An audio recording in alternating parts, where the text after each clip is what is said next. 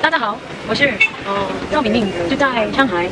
내려가서 친구들 안녕 오랜만 가오기 오지 아 나는 지금 상하이에서 살고 있는지 아, 6월 때부터 살고 있는데 아, 여러분한테 이렇게 영상으로 인사드리게 돼서 반갑습니다 어제 어제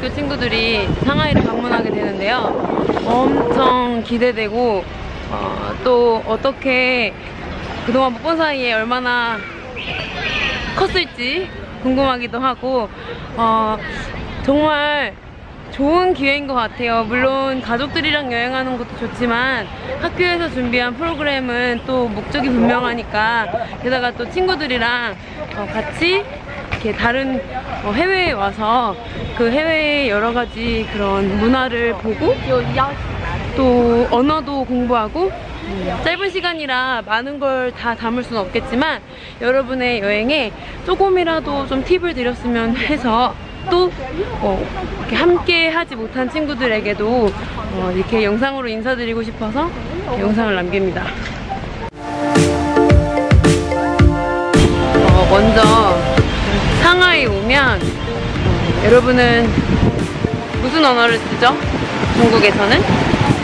네, 그쵸. 중국어라고 우리는 알고 있는데 사실 중국에는 언어가 굉장히 많아요. 어, 민족도 굉장히 다양해서 그 민족마다 또 지역마다 엄청 많은 다양한 언어를 쓰더라고요. 상하이도 상하이 화가 따로 있어서 어, 우리 중국어로는 니하오 하는데 상하이어로는 농허 이렇게 말하고 또 감사합니다도 어, 시시에 이렇게 하잖아요 중국어는. 상하이어로는 샤야 이렇게 하더라고요.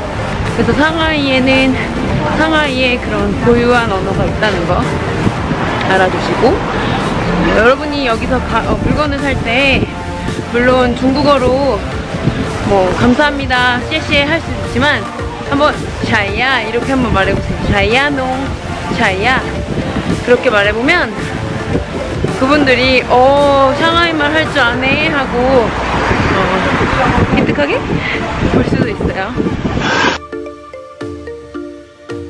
짠 번째. 어, 지금 바람이 엄청 부는데 어, 저는 지금 아까 거기에서 지금 여기까지 자전거를 타고 왔어요. 어, 자전거가 공유 자전거를 타고 왔는데 으, 눈물 나. 네, 상하이는 또 중국에는 이제 2년 전부터 이제 공유 자전거 서비스가 굉장히 활발해져서 앞으로 이제 어떤 가까운 거리를 가거나 또 이제 먼 거리를 갈 때도 날아간다.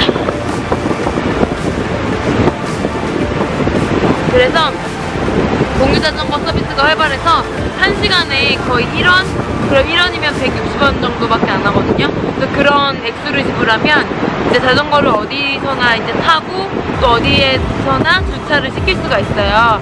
어, 이제 서울에 따릉이가 있지만 서울에 따릉이는 주정차를 정해서 해야 되잖아요. 그리고 또 1시간에 1,400원으로 더 제가 있을 때는 그랬는데 여기서는 어, 굉장히 저렴하고 싼 값에 그리고 또 아무데나 어디서나 물론 그 도로에도 그 정차해야 되는 데가 있긴 있거든요. 그러니까 워낙 이제 넓고 사람이 많고 한데 이거를 다 타- 차를 사용할 수는 없으니까 어, 또 도시의 그런 곳곳 그 깊숙한 곳을 골목골목마다 여기 정말 정말 볼 게 많은데 그것들을 이제 온전히 누리려면 그 공유 자전거를 타는 게 굉장히 좋아요. 모바이크, 어, 그 다음에 오포 이런 두 회사가 가장 대표적인 회사고 또 다른 회사들이 많지만 그 두 회사가 가장 대표적이고 많이 있는데 또 이거의 문제는 뭐냐면 자전거가 많이 있는 만큼 또 고장도 많이 나고 또 그만큼 또 다른 쓰레기가 많이 생긴다는 거 자전거 쓰레기가 생긴다는 거. 그러나 우리가 문제를 만들면 안 되는 게 아니라 문제는 좋은 거죠. 왜냐면 문제는 풀면 되니까. 그래서 이런 쓰레기에 대한 문제를 어떻게 하냐 이거에 대한 논의도 굉장히 활발하게 진행되고 있고 또 이런 폐 자전거를 다시 재활용해서 새로운 자전거를 만드는 그런 일을 하고 있답니다. 아 이번에 한국에 갔을 때 완전 놀랐어요. 왜냐면 수원에 모바이크가 있더라고요. 어, 이, 이 모바이크 시스템이 굉장히 이제 다른 나라에서도 되게 좋은 사례로 알려져서 한국 그다음에 유럽 이런 나라에 이제 많이 수출이 됐는데 그런데 이제 나라마다 이게 성공을 하는 데도 있고 또 또 이제 막 안 되는 데도 있고 한데 이거는 이제 그 나라 사람들의 기본 그런 인식이나 어떤 그런 물건을 소중하게 다루는 그런 게 되게 중요한 것 같습니다. 눈물이 나네요.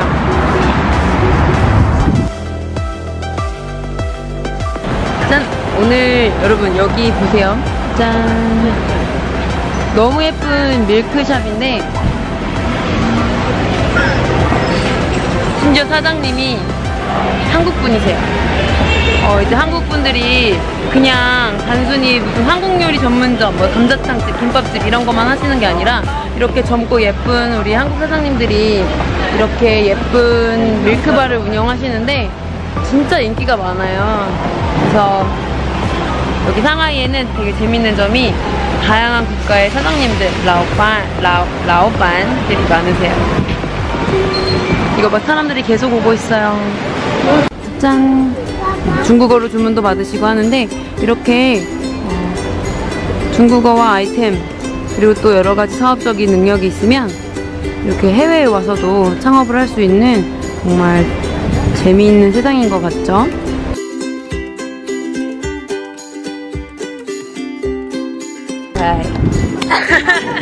그랬어요.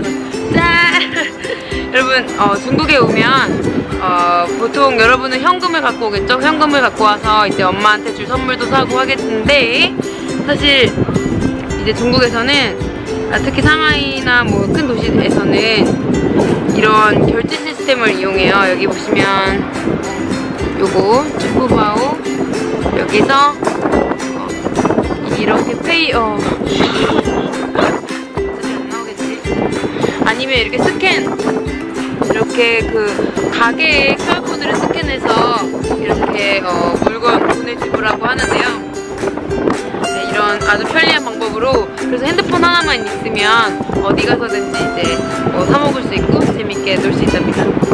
여러분은 현금을 쓰겠지만 이런 어, 결제 시스템이 있다는 걸 알아두시고 그 다음에 한국도 요즘에 카카오페이에서 QR코드로 이제 많이 페이 방법을 이제 바꾸더라고요. 그래서 여러분도 앞으로 어, 내가 이런 시대의 흐름을 파악하시고 어떻게 어, 직업을 선택하면 좋을지 고민하십시오.